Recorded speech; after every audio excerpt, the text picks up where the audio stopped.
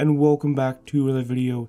In this video, I want to go over how to create some really cool graphic designs in Final Cut Pro 10. And before I continue the video, I want to give a couple disclaimers. First of all, I'm not a professional um, graphic designer, so I don't know all the ins and outs on the rules of graphic design. So if you're a professional graphic designer, you're probably to you know critique this video a lot. I'm in no way trying to you know pose as a professional designer. This is just me having fun and trying out a couple different designs I've kind of seen and kind of are inspired by, kind of recreating and putting um, my own spin and my own twist on it. And before I get any comments, yes, I'm aware photo Photoshop does exist. However, I kind of want to take this this challenge on trying to do all these graphic designs in Final Cut. And if you didn't know, Final Cut Pro 10 is primarily a video editing program. So for me, I kind of want to take on this challenge and see if I can create some really cool graphic designs um, in, in Final Cut Pro 10. So at the end of the day, this is just me having fun, trying out a whole bunch of different styles. I'm not trying to pose as a professional graphic designer. This is just me having a little bit of fun. So I'm going to head over to the example right here and just kind of go over some basic concepts and ideas. This this part is more for people who aren't very familiar with Final Cut. If you're you're very familiar with Final Cut, then you could obviously you know just see the intro and see if any of those ideas inspire you. But this part is more for people that don't know don't understand the basics of Final Cut and you don't don't know how to cut out layers, don't know how to cut out people. Um, this is just more kind of like a basic. I want to give you like a basic idea of how to do this. So I'm going to go over first is importing the background. Now background could obviously be anything you want. Now this background isn't from Final Cut, it's from Canva. I already made a video on it called the 3D photo effect where I showed you how to kind of create these really cool backgrounds um, in Canva. So definitely go ahead and check it out. And yeah, I know Canva isn't the most professional graphic designer um, uh, program, but it's really cool to just find some basic templates and some basic backgrounds. Obviously you can customize them, you know, if you want. The next thing you want to do is you want to place all your photos. So you can see right here is the first photo um, right here. So there's the first photo right here. Here's the second photo right here.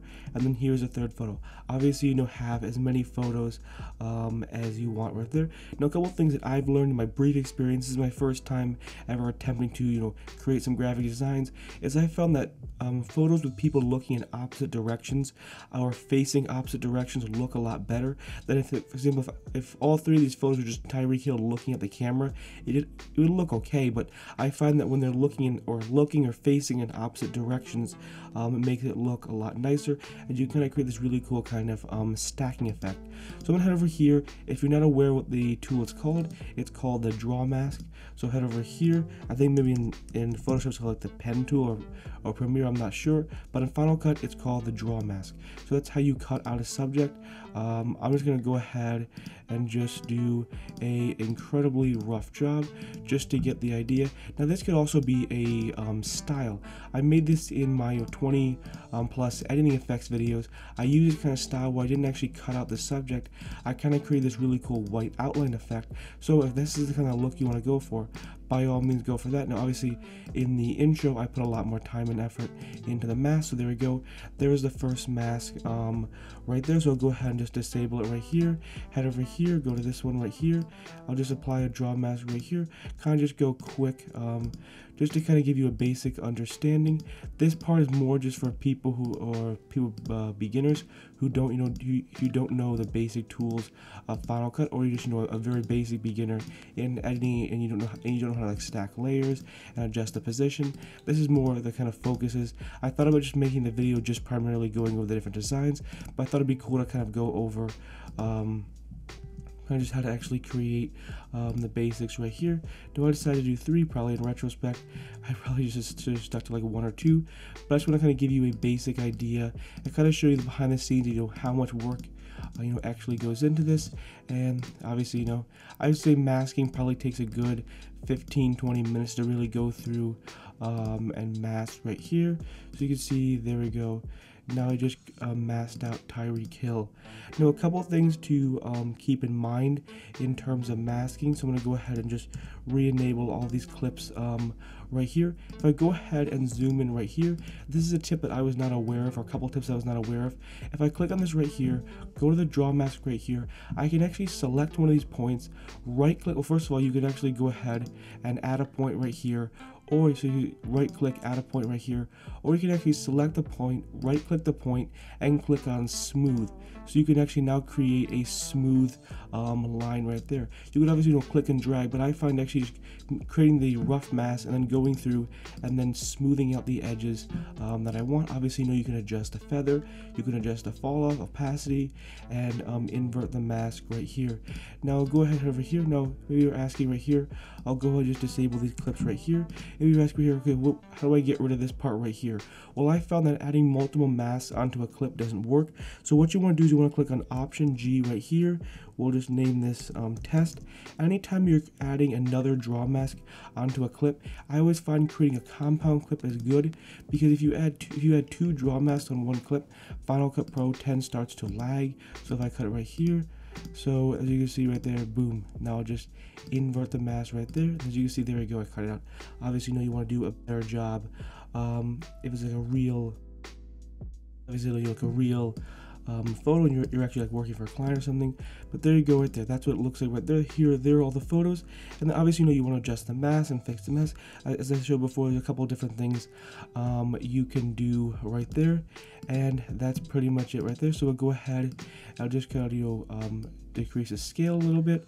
So of just move the scale right here, move the X right here, and then I'll just kind of move it over right here take this photo right here adjust the scale right here move the x-axis over here and then move it down.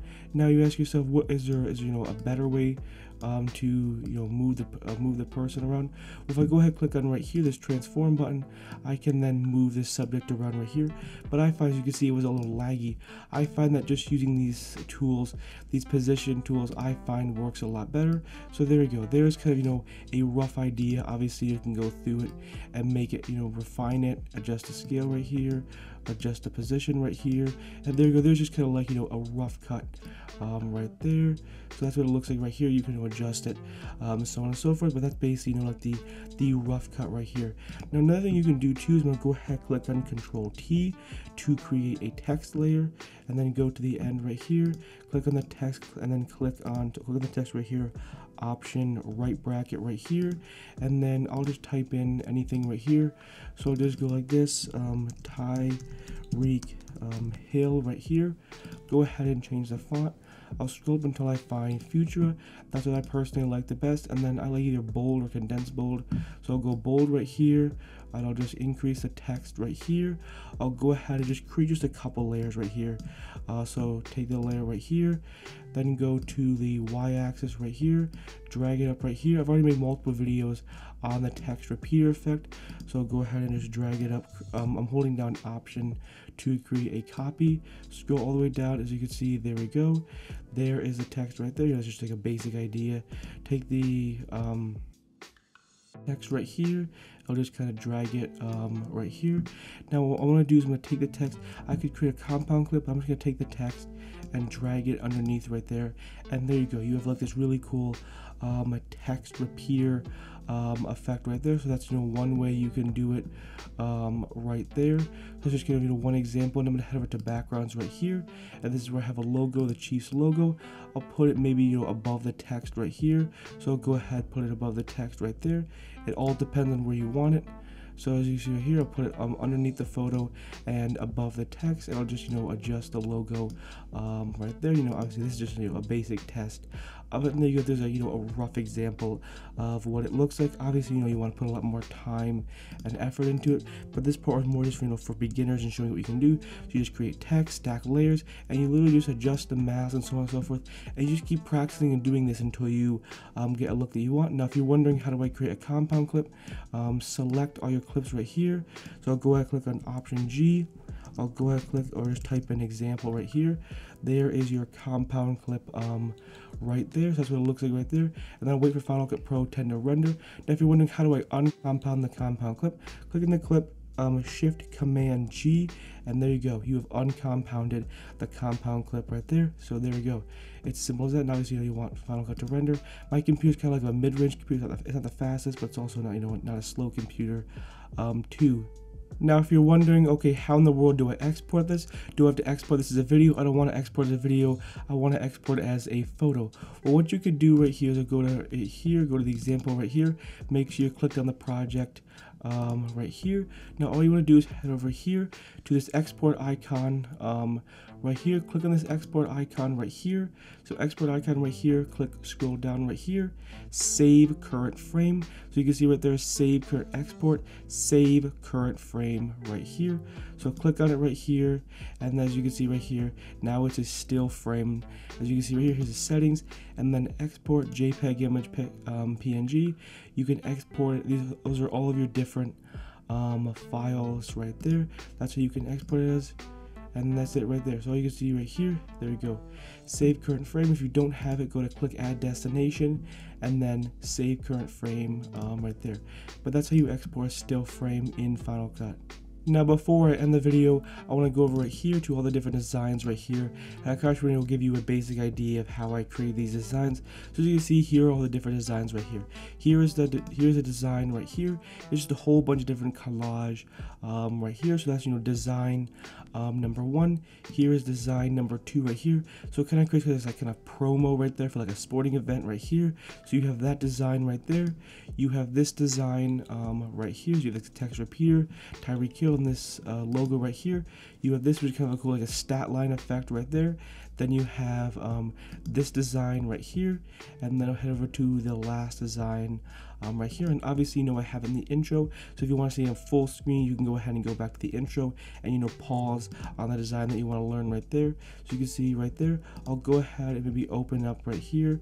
So you can see right here, here is the design right here. So here's here's the first design right here. This really cool kind of collage effect. Here is the next design um, right here. Scroll over to the next one right there. There is the next design right there. And then so you can see there's just a whole bunch of really cool designs. You have kind of a stat line effect um, right there. You have this really cool kind of like highlight promo or this player highlight. And then you have this which I personally think is my favorite. Um, and there you go. That's pretty much it right there. There are all of the different um, designs right here. So I'll go ahead and just play it right here Again, here all the whole bunch of different designs. This is just me kind of just messing around and playing with a whole bunch of different designs. Again, like I said before, I know Photoshop exists. I'm not a professional graphic designer. This is just me kind of having fun, and more importantly, this is just me um, trying to see what Final Cut could actually do. Could you actually create some graphic designs in Final Cut? I think the answer is yes.